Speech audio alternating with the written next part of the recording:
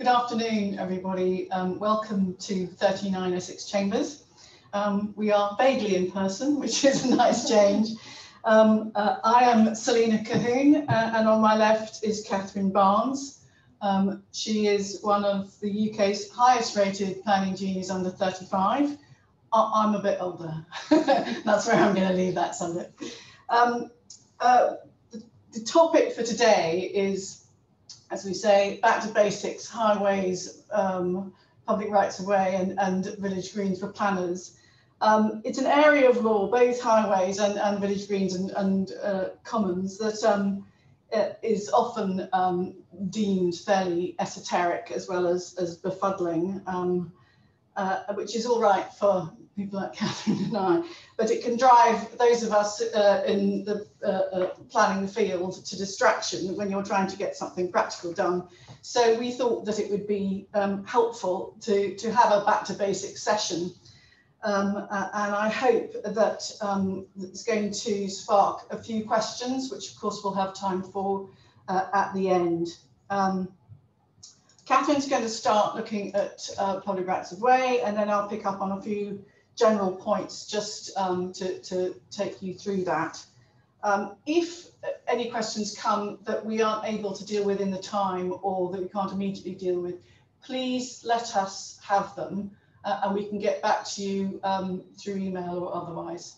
Um, anyway, over to you, Katherine. Uh, thank you, Celina, and thanks everyone for giving up your afternoon to listen to us talk about um, highways.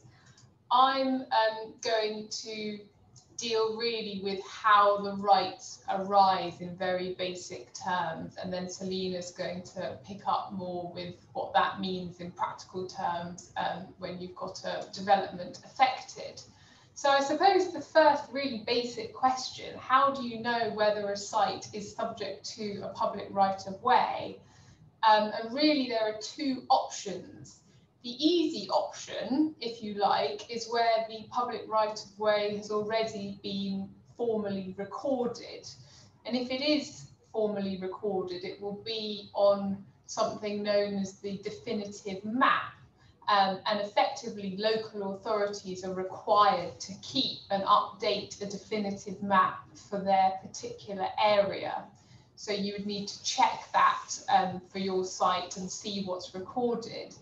Um, and the other important point to flag is that the definitive map is really quite significant because that's treated as conclusive.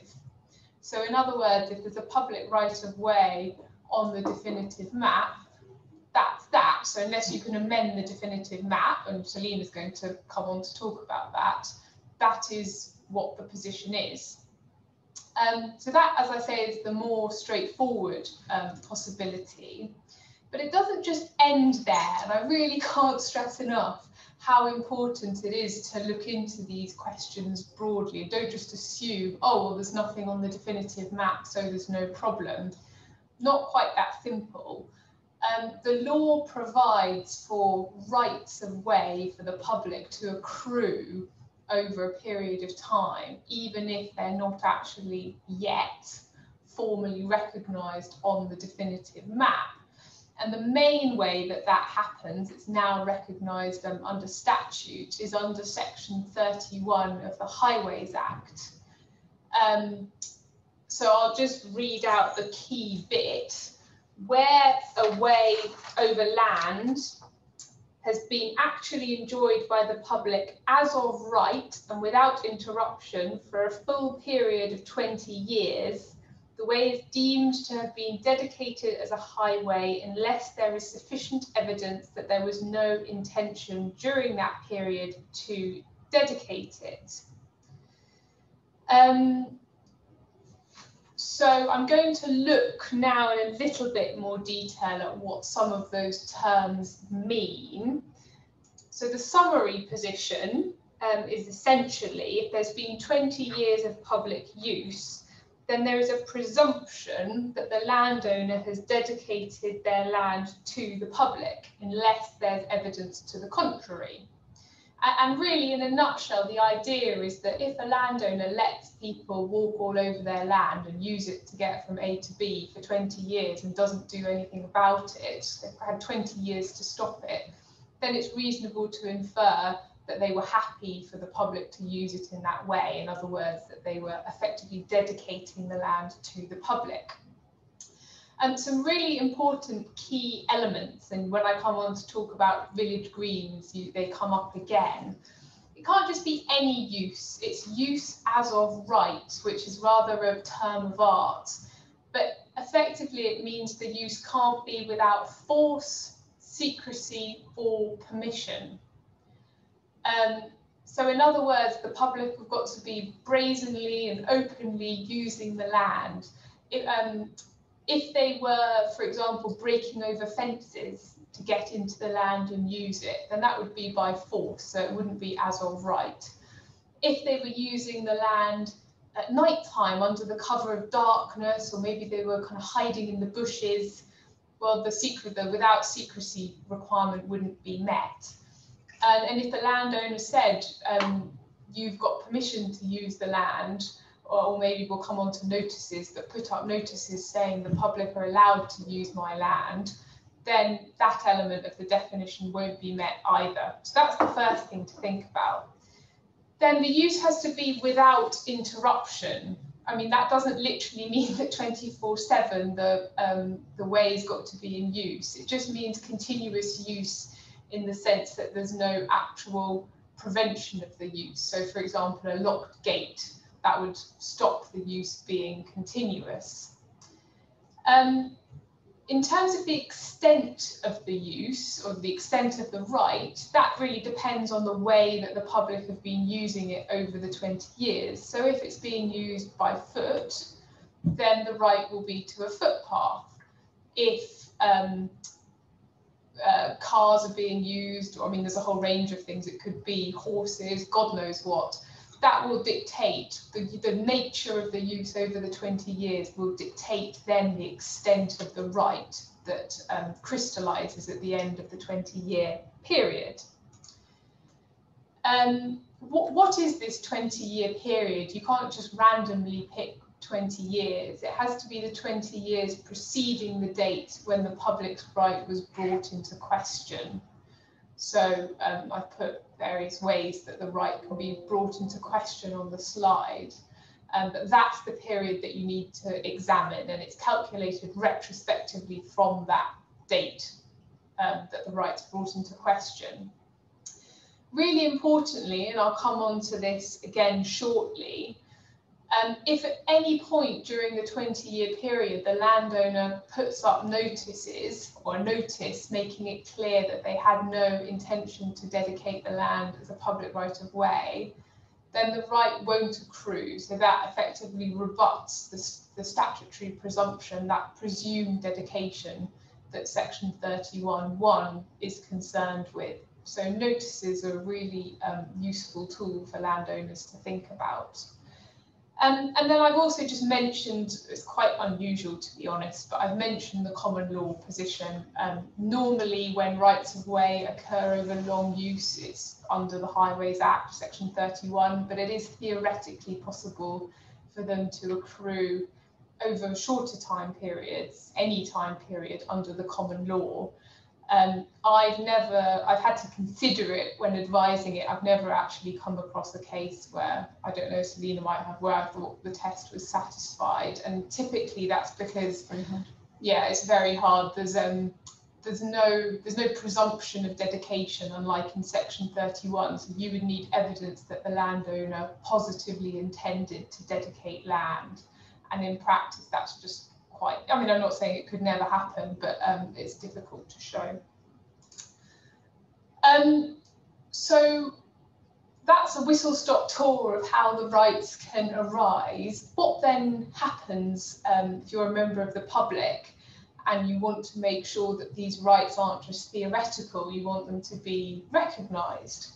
Well, really, you want to get that right as soon as possible, recorded on the definitive map, so there's no doubt about it. Um, and there's a set procedure for doing that. You'd make an application for the uh, map to be modified to add the public right of way.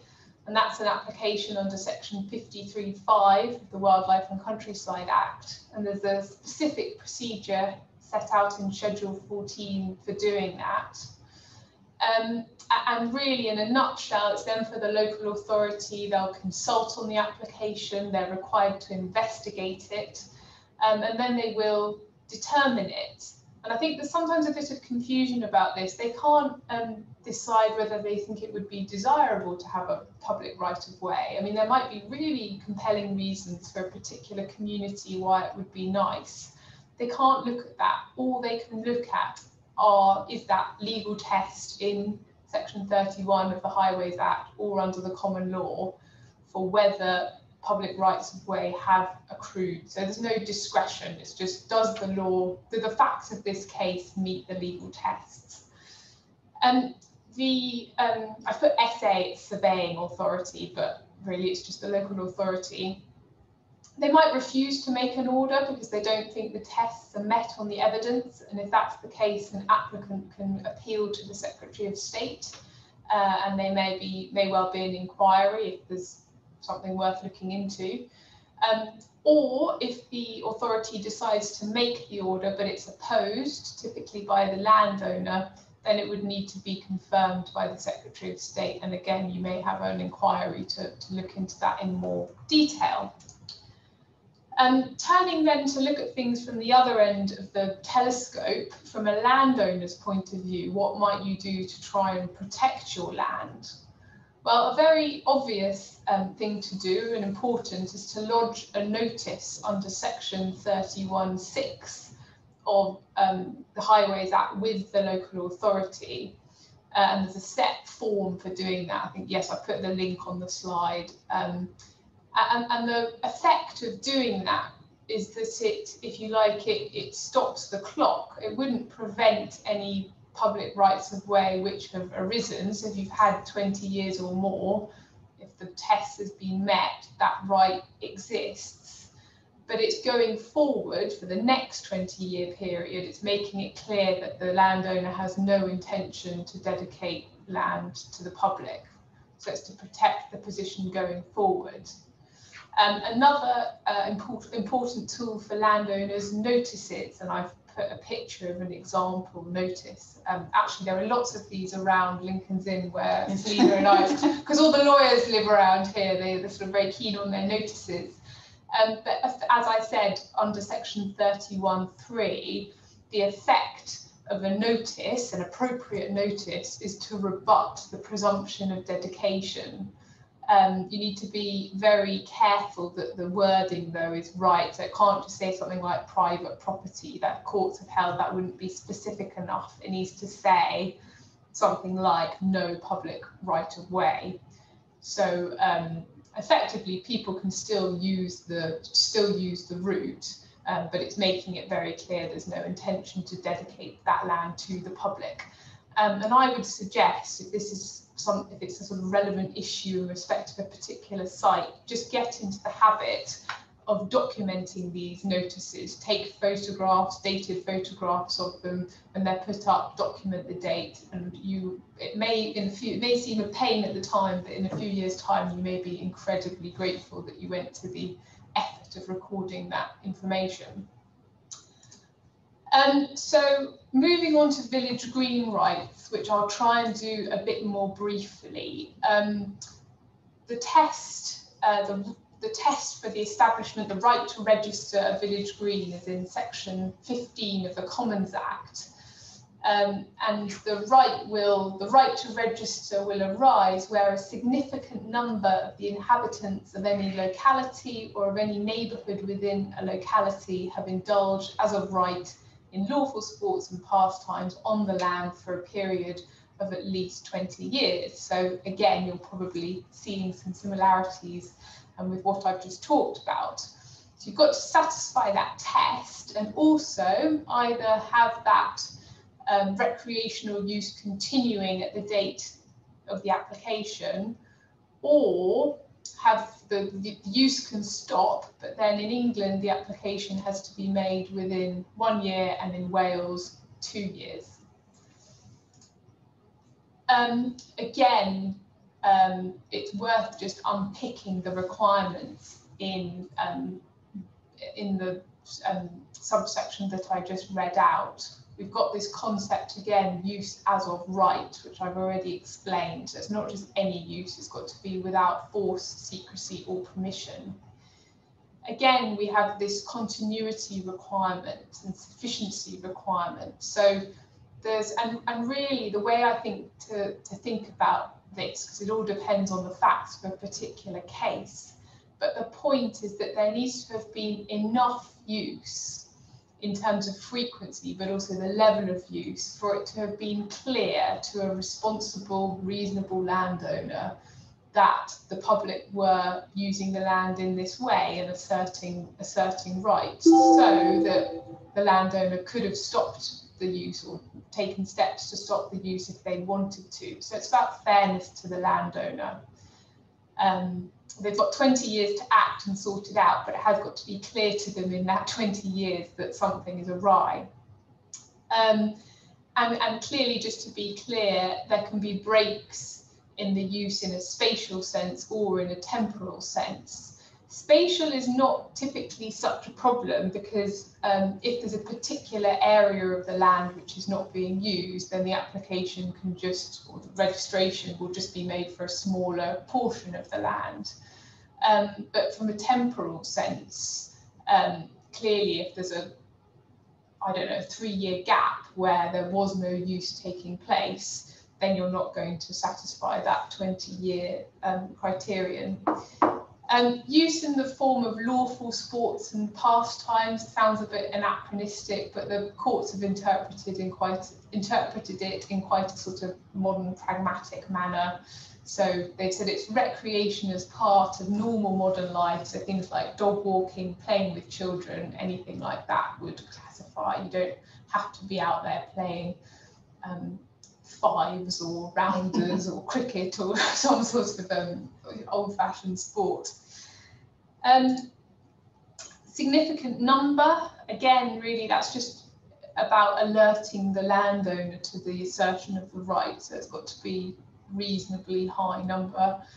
Um, neighbourhood within a locality, um, I mean, really, this is this is a very easy requirement to me in my experience. Anyway, it sometimes looks a bit harder, but neighbourhood, really, that's just a question of judgment. So, um, and it will depend on the facts. But any kind of area where you've got shared facilities, for example, or there might be um, geographical boundaries like a road uh, that means that you can legitimately say there is a neighbourhood. There has to be a sufficient degree of cohesiveness. And then really the locality requirement is a bit of a non-requirement. Locality means any administrative division known to law, and the courts have said that it can be more than one locality. And so normally any neighbourhood, as long as you can show that you've got the cohesiveness to be a neighbourhood, almost by definition, you will be in a locality of some description. Um, a final point just to add, and there's been some recent case law on this for village green geeks. Um, there is the statutory incompatibility doctrine, which where the land is owned by a public body will probably need careful consideration. In a nutshell, if the land is held for statutory purposes, so it might be housing, for example, or education, and those purposes are incompatible with village green use, then um, you're probably not going to be able to register the land as a village green. Um, so looking at it again from the two perspectives, if you're a member of the public and you think that village green rights have arisen, um, the way to get those formally recognised is to make an application for registration under section, section 15 um, I put the regulations in England, there's different regulations in Wales. Something very important to remember though is that registration will be precluded if a trigger event has taken place. Um, and um, a trigger event in England includes various things, but including when an, when an application for planning permission in relation to the land is first publicised, and also when a draft development plan document which identifies the land in question for development is first publicised. And really this was introduced to prevent abuse of the village green rules by people objecting to development.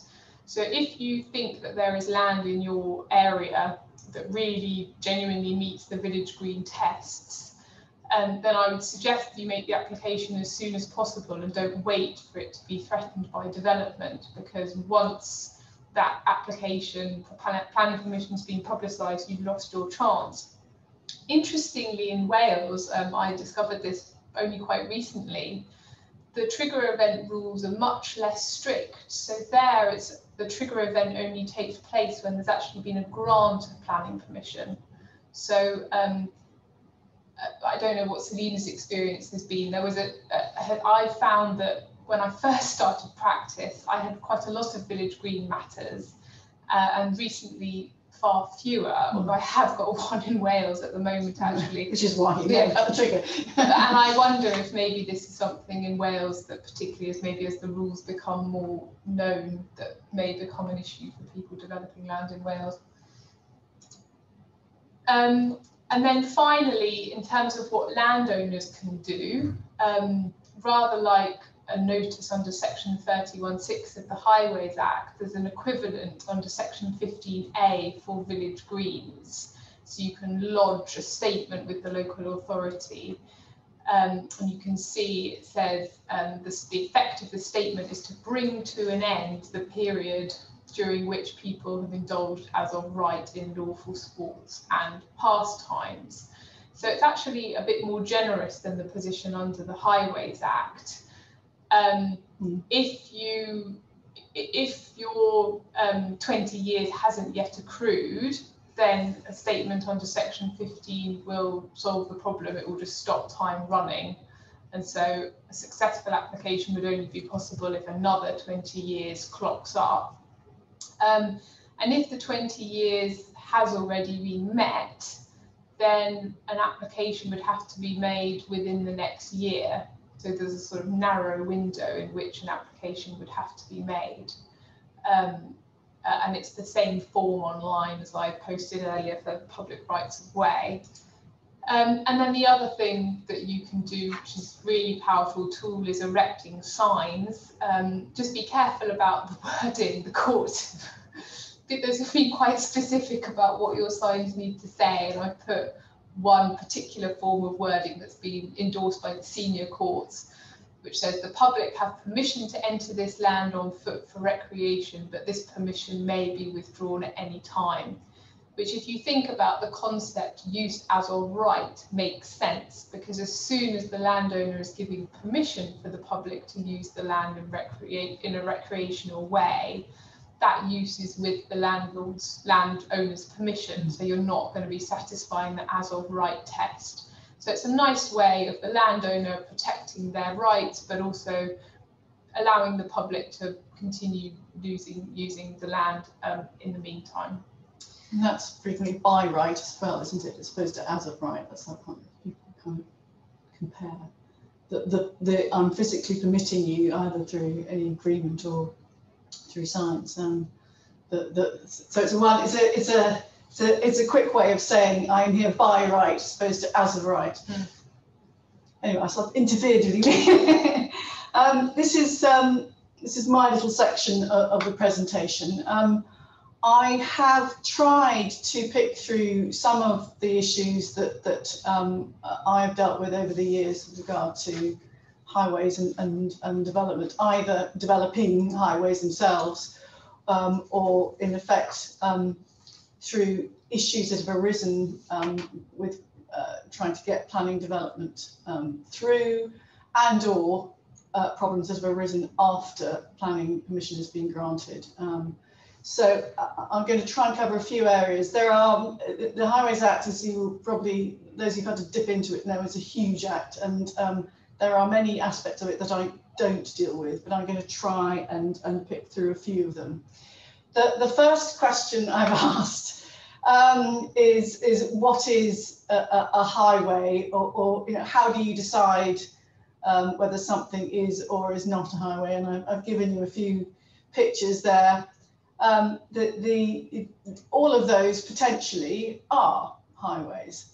Um, the, the, first question, sorry, the first question I've got though, um, it, it deals with with the, the legal extent of the highway. I was going to start looking at physical aspects, but I thought actually it really does come down to what is the highway as a legal thing. Um, and the first and important uh, uh, fundamental aspect of a highway is that it must be a right that the public can deploy uh, and it's the public at large. Um, so any member of the public is entitled to use that particular a, road, highway, street, whatever you want to call it for the moment. Um, and that is to be contrasted with uh, a, an owner of a particular property, an occupier of a particular property, or indeed the owner of, of, of the particular piece of, of road, um, as well as the lawful visitor to that particular property. And, that, and I've set out a, a, a reference to a case called I can never pronounce this Kurten Car, and that's probably not quite the right way to do it. But anyway, that's a 2012 case that looked at these aspects. The second important part is that it is the right of that public at large to pass and repass along the highway. Um, and that is a, from a, a, very old uh, uh, 18th century case. Um, but also that is further qualified by an interesting case that happened back in 1999 when people were trying to um, object to the proposals then in relation to um, the A303 along Stonehenge. And um, those works came a lot later, and I'll come back to that uh, much later. But what the, those who sought to assemble on the highway, they weren't actually uh, uh in, in the carriageway itself preventing people from driving up and along it, but were at the side. Uh, and um, they were duly um, uh, uh, uh, prosecuted for obstructing the highway. and subsequently, the, that, that those convictions was overturned by the House of Lords because what was held, what was suggested was that that the, the right to use the highway isn't simply a question of keep on moving. You can, uh, you know, as long as you're carrying out an activity, you have a right to be on the highway and as long as you're carrying out an activity that, that's otherwise lawful and doesn't obstruct, then that activity can be something you're entitled to do, and that is not going to get you in trouble. If it was coming from a more civil aspect, I suspect that, that if you were actually trying to, to use the highway simply for a recreational activity. So if you were trying to trying to use it for some of the, the activities you would normally be carrying out on a village green or common, that might get you into a bit of trouble. But the, the principal uh, point about Jones is that, that it was a criminal offence and it was based on obstruction. And if you're not obstructing and you're carrying out a, a, lawful, any other kind of lawful activity, then you should be all right. The third point I put down is, is that it needs to be a, known and identifiable route. Uh, and it's it's a route is the is the, the the main thing there. I think because um, it, it, doesn't have to be a metalled highway. It doesn't actually have to be anything formal. It has to be a known and identifiable route because we're talking about all kinds of, of highways.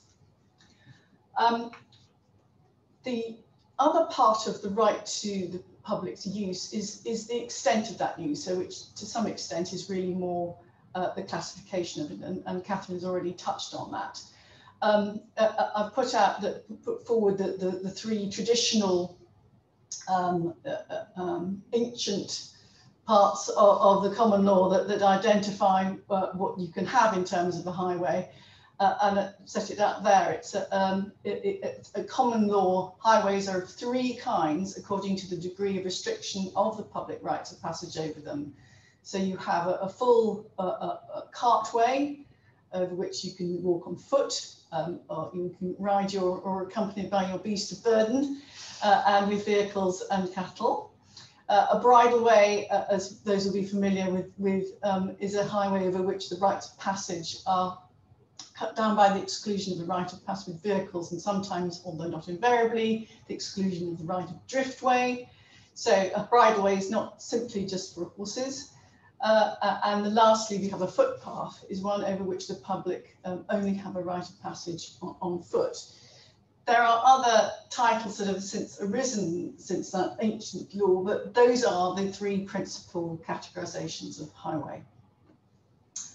Now, one of the questions that I've had to come across now and again is whether a cul-de-sac can actually uh, be part of the highway. Um, in terms of logic, it would, in, many cases have tried to argue, well, it shouldn't really be because it's not a, it's, it's a, it's in its nature a, a very simple and cut off part of the highway or part of a road that only allows access to um, the, the, owners of the property uh, at the end or attached to uh, uh, adjoining that particular route. Nevertheless, um, uh, there are two cases I've mentioned there, White House, and then more recently Chandos Land. I say more recently, it's 1910. There's a lot of very old cases that you have to look at with those um, that said that, that you know, once user is established by the public, then um, that is a highway. Um, so it is quite possible for uh, a cul-de-sac to be a, a, part of the highway. Uh, uh, and uh, uh, lastly, and again, this will this kind of overlaps with the, the physical extent of the highway. It is a, the, the, the formal part of um, the nature of the highway is that it vests as a right uh, in the highway authority. Uh, and I've referred to section two, section, sorry, 263 of the Highways Act, um, which describes that, the, the, the, the right that is vested um, uh, as being necessary for its control, protection and maintenance for the use of the public. But um, that is a description given uh, back in, uh, as I say, 1896 through the, the famous Baird case. Now, um, the, the, for those uh, property nerds out there, the, the right is in fact a, a proper legal rem. Uh, it is a determinable fee simple. So um, it's a, something that you can in effect possess as a highway authority and, and that can sometimes, uh, I think, be forgotten. It is actually a highway authority's possession. Now, oops, wrong one. now, physical extent. Typically, obviously, um, we have, uh, uh, you look to a, a, carriageway, which is where um, you will be doing your passing and repassing but potentially clearly looking at um, uh, uh, a, um, a, carriageway proper, uh, in other words, that carrying um, vehicles. There will be a verge to that. There will also there can also be verges to footpaths, um, but also there is this um, uh, interesting part of the the law that looks at roadside ditches. Um, the the fact that roadside ditches um, can sometimes um, provide a form of boundary in itself um, has actually often arisen uh, as a query as to whether that creates the edge of the highway or whether it's part of the highway itself. Uh, uh, and um, come and look at a couple of cases on that. Um, private rights of way, um, where do we find them? Those clearly um, Katherine's referred to the definitive map under the WCA, but that uh, uh, description in the definitive map and the statement sets out the width of, should set out the width of that private right of way. If it isn't in there, then you have to look to other aspects. Uh, and sometimes it is said that there's a presumption that the width of that footpath highway, whatever you want to call it, in terms of be being a highway, is either of hedge to hedge or fence to fence. In other words, the whole area between those two features. However, uh, there are uh, three cases that I've set out there where um, it, it, was this issue was considered, um, and a number of judges have gone from saying, well, their presumption really clearly needs to arise you know, between that the, highway is between each hedge or each uh, fence uh, and that was wheeled back, rode back from um, in Neild, um, uh, uh, and that presumption was described uh, as being only if you have sufficient circumstances. So you have to take everything else into account before the presumption arises. Uh, uh, and lastly, there's a case of Beynon um, uh, and um, that looked at uh, Verge in the same context. And I've set out the words of, of, of Justice Hale, as she was then, um, uh, which goes through the whole series of, of points about whether that presumption arises. Um, I'm not going to read it out, but um, it, it is it is one of those where you can look to all of the facts, and that may include having to look at some extremely old uh, um, maps and plans uh, and in particular looking at why it was that the hedge or fence was put up, when it was that the hedge or fence was put up. But once you've established there's a good reason that there's a, a or was a relationship between the hedge or fence and the land on either side, uh, and then the, the, the, the way that, that, exists between the two, um, and that there was perhaps a, a, an obvious connection between that is the highway and the fence or hedge is providing that boundary, that is a presumption. And that can only be rebutted by saying, well, there is a good reason to suggest that that uh, hedge or fence was there for that, that boundary purpose. Um, the other famous bit of, of uh, highways law that describes um, the physical extent, which deals with the vertical extent, is at this point about the top two spits or the, the Baird principle. And a spit, for anybody else who doesn't know, is a spade depth. um, the top two spits um, we, we will probably still continue to use, but it is now, as a consequence of a, a recent case in 2018, London Borough of Southwark and TfL, it is now known as the zone of ordinary use. Uh, and that describes in effect a little bit more, it's a bit more flexible in terms of where the, the right goes goes down to and underneath the, physical, uh, uh, perhaps physical sort of surface of the highway. Uh, uh, and um, uh, there is also a, a, an above surface airspace um, characteristic to the interest that vests in the highway authority. Uh, and uh, it is this, this zone of or ordinary use. Uh, it's a, a, depth sufficient to provide for its support and drainage. And drainage is an important aspect that to remember that because clearly there's going to be, when you're looking at most highways, there's a lot of infrastructure within the highway itself but also what we call a modest slice, modest slice of airspace. I wonder what a modest slice of airspace above it, sufficient to enable the public to use and enjoy it, and the responsible authorities to maintain and repair it. So that is where we are with regard to physical extents. Thanks.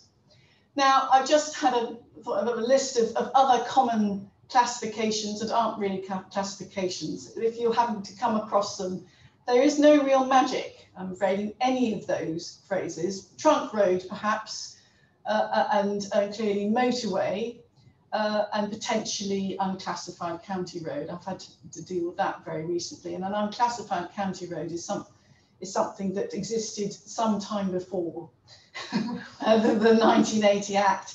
Um, uh, and one would have to, I'm afraid, look back to uh, the Enclosure Acts uh, and the time when roads started to become a bit more um, uh, uh, widely spread and also metalled, and we had the, a changeover in terms of who was responsible for them.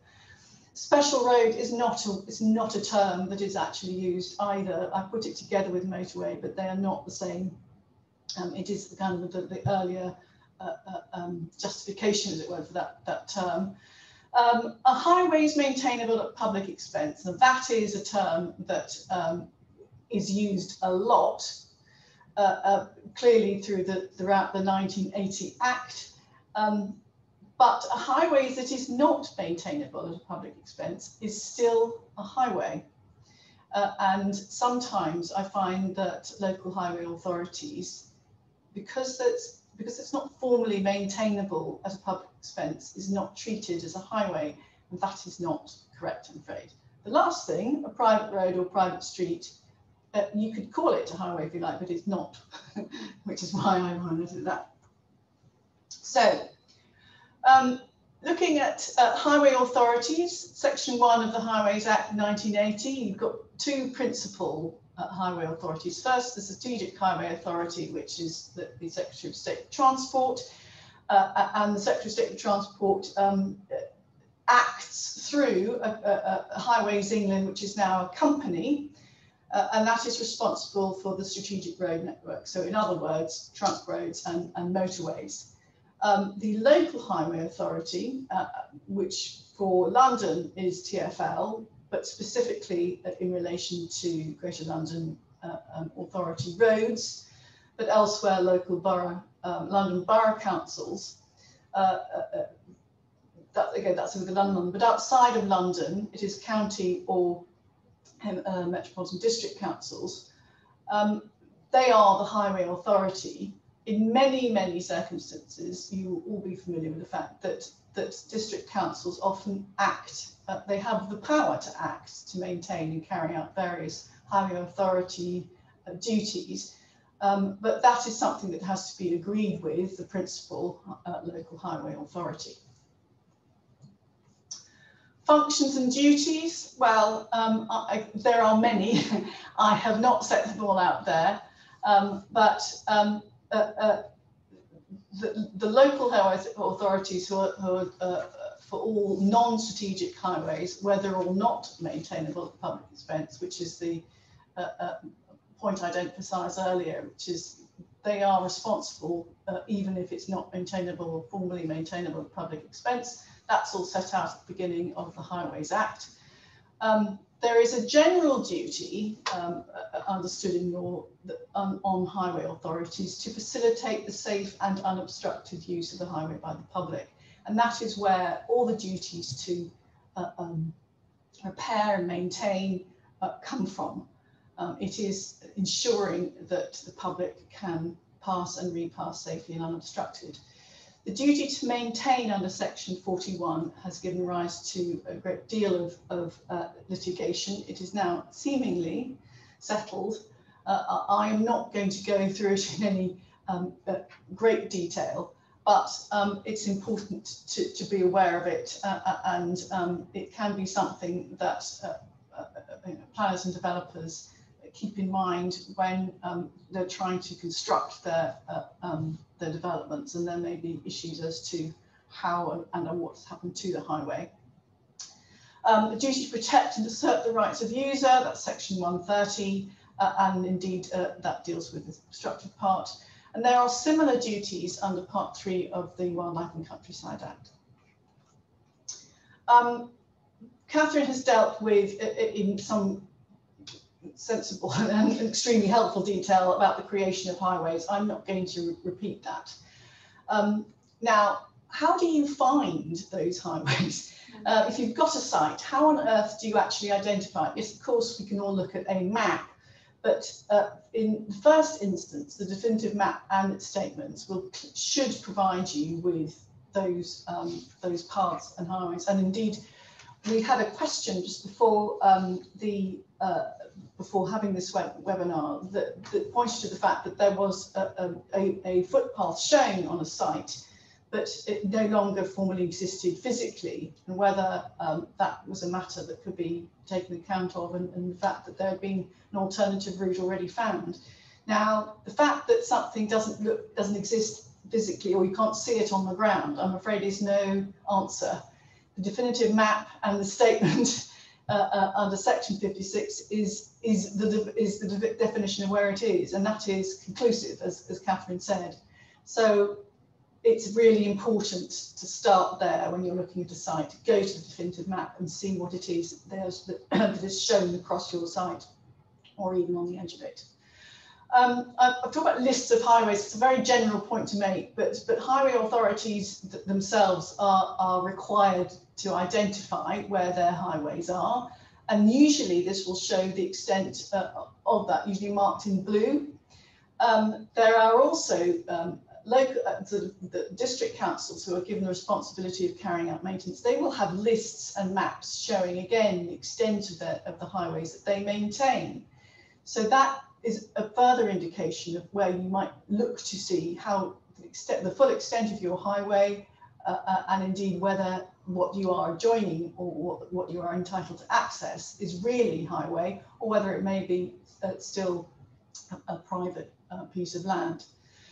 Lastly, I thought it was sensible just to, to come back to this point that under section 31A, uh, as Katherine said, if, if you uh, if you can you uh, want to be clear that you have not dedicated um, a, a, a, a, highway, or if you um, consider that there is something amiss, then you must put forward a declaration and that will be lodged and you can find those declarations. So again, have a look when you are um, uh, by a site or, or whether you're not fully clear as to what rights uh, uh, uh apply to that site, go and have a look at section 31A list.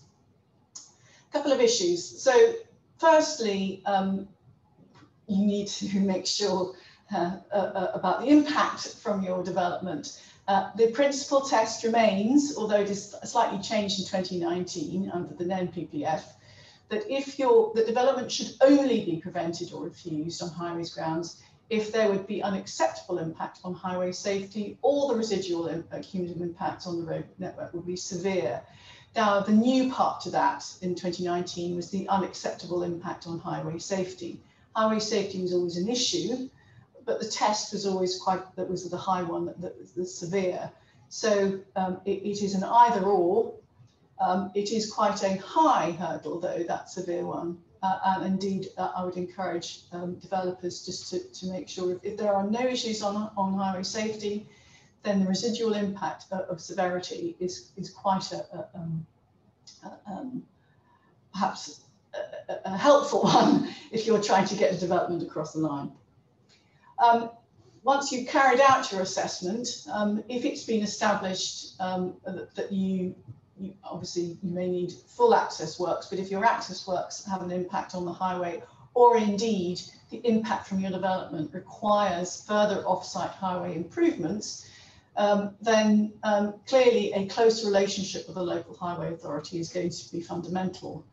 Um, uh, the other thing to remember, uh, and this is something that, that um, comes up now and again, is that, that sometimes the red line of your uh, site stops short of the area that's needed for the highways works. Um, you can get around this, um, but uh, especially if you're not you yourself are not building on on, on that area of, of highways works.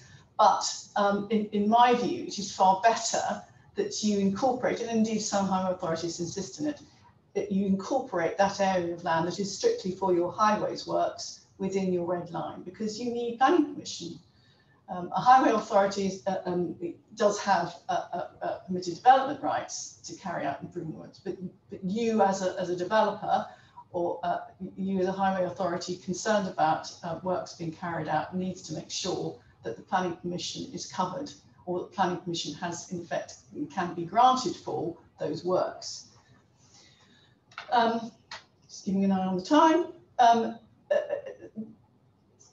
the big point about section 38 and section 278 agreements, which are, are we, we kind of bunch them in with section 106, is that they are um, they are uh, clearly coming from two different directions. The section 38 agreement is when you want to uh, construct a road for subsequent adoption. So you yourself carry out the works and then and then and then uh, you dedicate the, the, the highway to the authority. It's normal uh, that's normal practice for internal state roads. So you carry out the works, and then you go. So um, uh, this is now dedicated as highways. Um, it, it, allows um, a, a, privately maintainable highway to become a highway maintainable at public expense. That the key th thing there is that you must remember to dedicate, otherwise it will remain a privately maintainable highway, which you don't necessarily want. Um, uh, and section 278 is where highway authorities enter into an agreement with a developer for the execution of the works which are to be paid for by the developer. Uh, and this must and this must be on the basis the highway authority are satisfied it will be of benefit to the public. Um, now I've asked a few questions there um, uh, about what if uh, uh, you know what what problems may arise over these two development uh, issues. Uh, what if the highway authority objects and won't engage?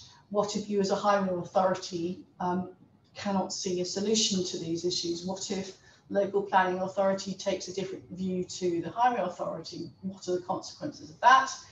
Uh, uh and uh, what if you uh, forget what if you forget to dedicate properly all the, uh, your section 38 road?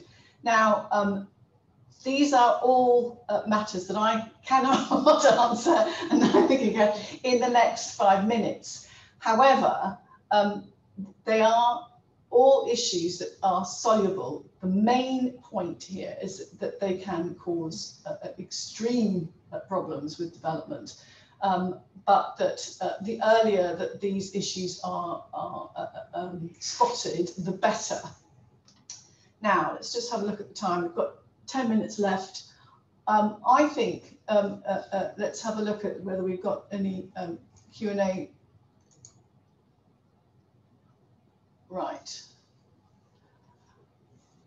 We've got a few questions which uh, uh, I suspect will be very good to ask. The rest of my presentation looks at um, uh, um, what you do about um, private rights of way across your land and also um, uh, um, whether you, you, you, know what, what highway authorities can do to create uh, rights of way. But I think perhaps let's enter into um, the, the, the Q&A, don't you think?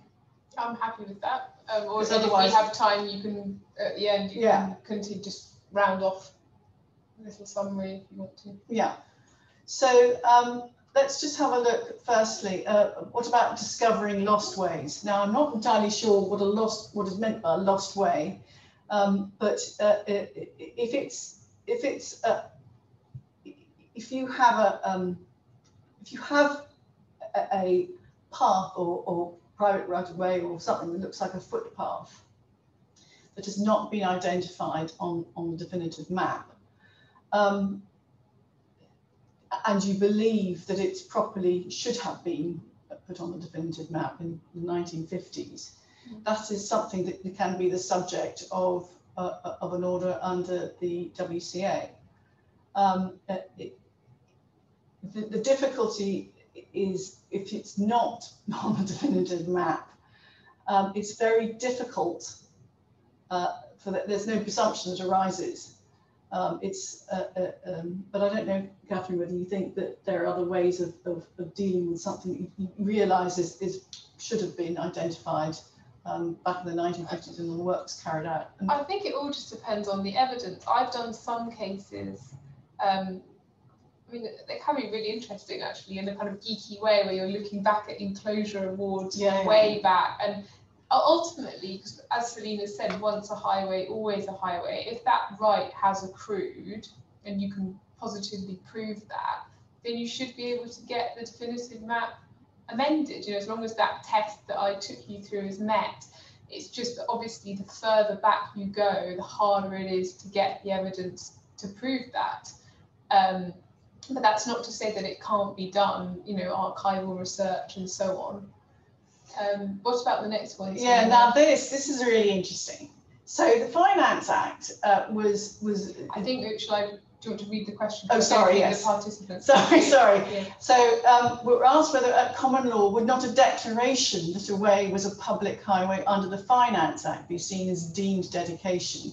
The, the, the short answer is yes and no, because the Finance Act um, was, uh, and the way that it treated uh, highways was for a very specific purpose, obviously a financial purpose. The question as to whether it actually, whether that, that particular road operates as, uh, as a highway with all the commensurate legal and, and physical extent it is, is actually, in my view, very different. So it would always be part of the evidence uh, uh as to you know whether or not what you have is probably a, a, a, is properly a highway.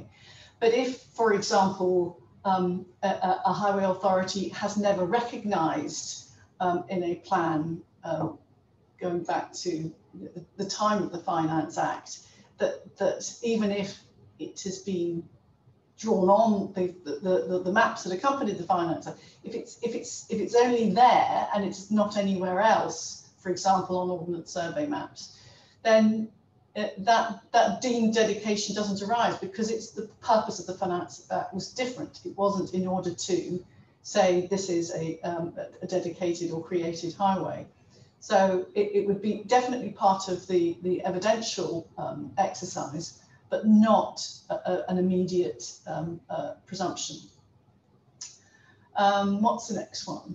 Is planning permission required for works to a road that is unadopted, also private? Is this still classed as a highway? Well, planning permission is required for, for works full stop. Um, uh, um, uh, and if it's if it's a, a, a, a highway, a proper uh, um, either a, public maintainable or, a highway uh, um, recognised as such, um, then it will it, it, will be subject to either PD rights or indeed if you need to to do further works, um, it would have to be through um, potentially through through an order depends upon what it is that you you want. But um, uh, if it's a private uh, land and you don't own it and it's used as an access way then again you would need planning permission uh, to use to, planning permission on that private piece of land to, to carry out the works um, it really I'm afraid depends upon what it is you want to do. But um, bottom line is development is development and planning permission is required for development. Uh, and um, I mean, obviously, if it's the highway authority doing the works and their improvement works within the boundary of the highway, then there's an exception carved out in section 55, so no planning permission required. But I think I don't quite understand what the question's getting at, but I think if it the point being if you're a private landowner and you want to undertake works to your land, if ultimately that meets the definition of development in section 55, you know, you're not a highways authority, no. so you're not going to come within that particular exception, then yes, you're going to need um, planning permission. And like Celina says, it depends on the work. You know, if it's a bit of kind of repair work, well, that's not going to come as development. But if you're changing the route or the boundaries of it or whatever it may be, then you know it will be. Yeah. Um, right, what's the next one?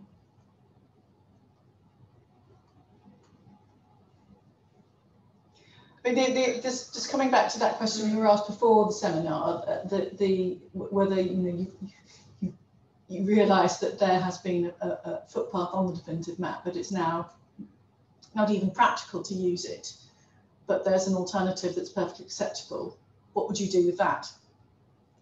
Um, well, I think you're just going to have to apply to amend the definitive map. Um, as Celina said, if um, just because in practice, in real life, as it were, on the ground, a sensible solution has been found, I'm afraid in law that's not going to help you very much. Mm. But I would have thought it's not actually going to be that difficult to modify the definitive map no, it's in just, circumstances like it's that. Just in a way, procedure. Sort of, You're going to have yeah, to go through it. But it's an important procedure yeah, nonetheless. Um, but I think that that's why going to the definitive map first before you even you know even, even interested in the site is is a really important part of your research because it can create all kinds of subsequent problems um, because some people do get very very um, enthusiastic about the definitive map uh, and uh, there can be strong objections. And if you find yourself, you build a house across a footpath, that could be um, really um, catastrophic. this uh, is quite just an interesting yeah. comment, really. I'm sorry, I don't know the time. Yeah, we probably just need to wrap up, but should we um, try this first one? Yeah, yeah. so someone has commented. Um, sorry, I'm saying someone because apparently for GDPR reasons we shouldn't say the name, but um, we have recent experience of highway authorities seeking section 278 works in addition to highway works identified in section 106 agreements where perhaps these works would not have passed the relevant section 106 tests. Okay. Um, which is, I mean, I haven't personally come across that, but that is something to look out for, um, I would have thought, and that is quite naughty if you're trying to circumvent. Well, it really depends when your agreement was entered into because if the section 106 was entered into prior to or at the time of your planning permission, then it's supposed to pass those tests. And if the works that are being sought are not required as a consequence of, of, of the development, then again, that's, that would be unusual. Section 278 itself obviously isn't subject to uh, any CIL um, uh, 122 test. So, um, uh, uh, and but, but in just to, to pick up on the, the fact that because you, you, can have a com combination of section 106 and 278 and sometimes even 38 with it depending on what you're trying to do. Um, but uh, principally uh, if if you're agreeing to do works that aren't justified by your development you could still carry them out under section 278 um, but because it's it, it because 228 is, is basically a, a funding agreement yeah, I think yeah. It, I, I might be misunderstanding the question. I think okay. if well, yeah, I don't know. this is the problem when you do it um, remotely. But if if the implication is that the the highway authority is trying to circumvent the restrictions of section 106 by kind of requiring extra work, you know, where it's the basis on which permission is being granted, um, then that's quite interesting mm. and something that obviously need to be careful. I mean, that's something that should be looked at when planning permission is granted. If there are particular highways works that are needed to make the planning impacts acceptable, then that's something that yes, needs actually, part I mean, and parcel of the grant of permission. It, it, I, I think what it might mean is that there's a there's a 106 and there's a section 2, so it's not a combined agreement, and that um, they, these are additional works to that that, that went through or, or pass through the one, one, two, two test. So I, I, I think that, that given that it's a funding agreement um, and doesn't have to necessarily be justified um, by the planning permission, I, I, I can see why that might arise. Whether you should agree to it or not is a different matter. But 278, as I say, is, is, a, is a different vehicle. Just there's one more here about whether an outline permission with an indicative master plan showing development over a private right of way, um, whether it would overwrite any requirement. No, it wouldn't. No, I'm afraid not, um, because the planning commission doesn't have that sort of power. Um, it, uh, uh, um, you know, the definitive, I'm afraid, wins out. And indeed, that's why, maybe we should end on this, that's why these issues are so important because it can scupper a development oh, right completely. at the final stage. I mean, I'm not suggesting, in all likelihood, it would be possible to divert that public right of way. It's, you know, probably not a problem, but it may take a very long time. And indeed, it's possible that it won't be. So you could have this wonderful planning permission to do exactly mm. what you wanted to do, um, but not be able to implement it and it doesn't mean that the, that the planning permission is unlawful either. You can mm. you can grant permission over it, but because it's a legal constraint, not a planning constraint, but it does mean that you're going to have to tackle it. Know. There was a further question, but I'm I'm so sorry. I don't think we've got we've got time. We've got time to deal with it, but we'll try and pick those those extra points up. Um, and indeed, if anybody's got any other burning issues that they wish they, they had asked, then please feel free to contact us. That would be um, uh, our pleasure. Um, thank you very much indeed, and thank you all for attending. Um, uh, and um, Katherine, thank you. thank you, Celina. Thank you, everybody. Bye.